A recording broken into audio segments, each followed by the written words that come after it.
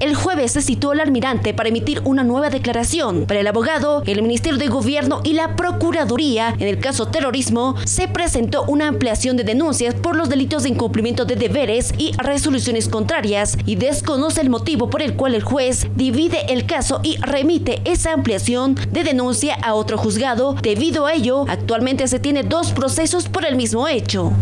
Sin embargo, se ha personado a declarar el almirante ayer y los hechos por los cuales se le habría aperturado el proceso al almirante Arce es por la imposición de la banda presidencial a la señora Yanine Áñez y eh, lo que se está investigando, quién habría autorizado la salida de la medalla presidencial. Esos son los hechos.